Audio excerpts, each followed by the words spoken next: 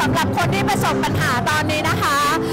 ไม่เป็นไรค่ะ เพราะว่าเรากำลังจะโดนเหมือนกันหมดแล้วทุกคนนะคะ แล้วเราก็จะเห็นใจกันเพราะว่าเรามีหัวใจดวงเดียวกัน ก็คือตอนนี้คนไทยทุกคนโดนน้ำท่วมหมดค่ะไม่ต้องเป็นห่วงเราจะช่วยกัน แล้วก็พากันไปให้พ้นวิกฤตนี้จนได้นะคะสู้ๆนะคะ ทุกคนบ้านเจียบก็ท่วมแล้วค่ะ